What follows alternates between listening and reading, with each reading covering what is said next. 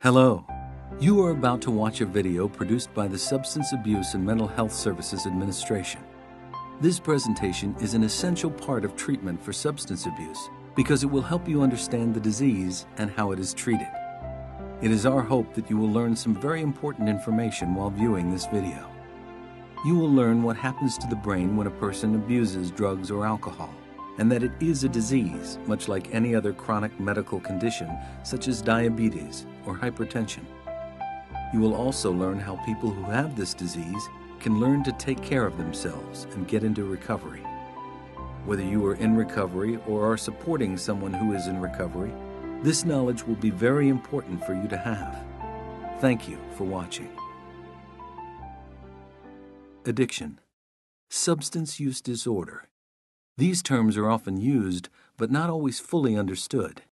What is addiction? What does it mean to have a substance use disorder or to have cravings? This presentation explains some of the science behind these concepts. The definition of a substance use disorder is the use of alcohol, drugs, or both that is compulsive or dangerous, or both. Alcoholism, drug dependence, and addiction are other ways of saying substance use disorders.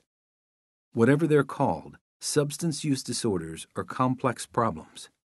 People with these disorders once were thought to have a character defect or moral weakness.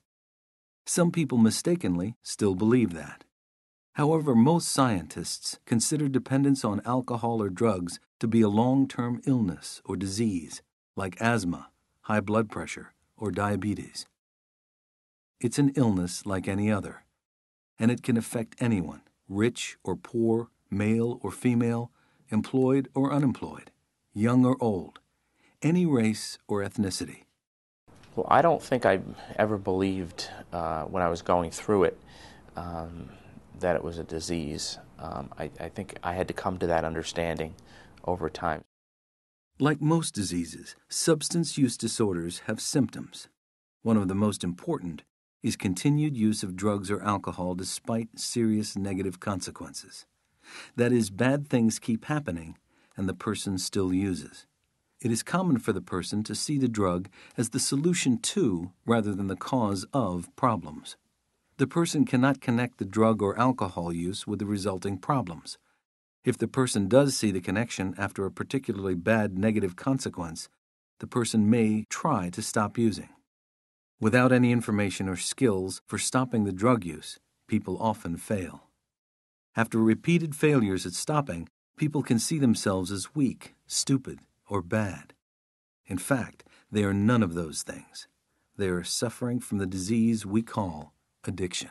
Before I came to Matrix, I tried to give up drinking, you know, pretty much every year, and uh, I, I, never really lasted very long. Um, so I definitely felt weak because um, it never seemed like I could last much more than a couple of months. I think that the what Matrix made me realize was that not only did I have a, a, a problem with drinking and, and, drug use, but it was also what it was doing to my brain and how the tools they gave me was was really had more to teach me how to use that part of my brain properly until it started to repair itself.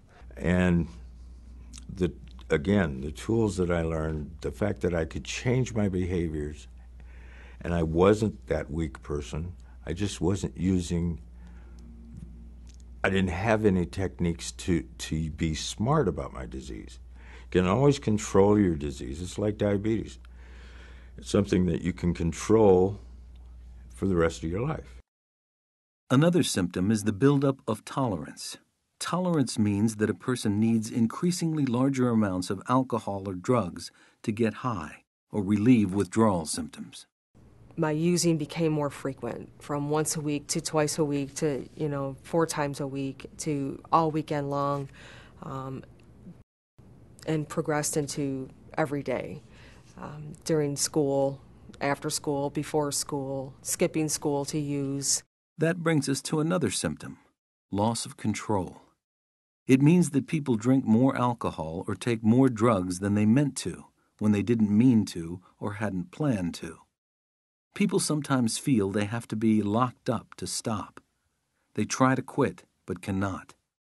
Treatment is initially about learning the skills and techniques to stop using. I've always wanted to quit once I crossed that invisible line because it, it stopped being fun and became hell. It's, it's, it, it got to a point where I was using against my will. I wanted to stop long before I was able to stop. So, powerlessness at some point took over my life, and I was powerless to the call of the disease that I live with. And, but there were often many, many, many times when I didn't want to steal the money. I didn't want to commit the crime. But the addiction dictated what I did. I, I felt like I saw firsthand in front of me my life from going from control to no control. I thought, I really cannot control this and I need to do something about it. I left the treatment center and I was going to stay clean despite them, uh, but we all know how that works. you know, within a couple of weeks, I was using again. Craving is a primary symptom. Craving is an overpowering need or urge to use alcohol or drugs. For people who use stimulants, the craving is as powerful as a primary life drive. It is as powerful as the need to breathe, sleep, eat, have sex, or drink water. The brain believes the person needs the drug to survive, and the person can feel anxious and irritable without the substance. When, when I started craving it, it was uh, it was one of the most uh, powerful uh, cravings I had ever experienced. I no longer um, just desired it. Um, I almost, you know, I wanted it and needed it. Um, it was an overwhelming um, obsession that was created in my mind uh, to really, uh, you know, I could I could taste it, I could see it, I could visualize it, I could almost feel uh, the euphoria uh, I was, you know, I would experience kind of pre-euphoria feelings uh, about it. Uh, it was very, very powerful feeling.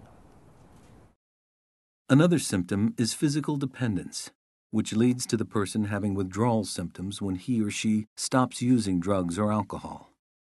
This happens because the body is dependent on the substance and has a physical need for the substance.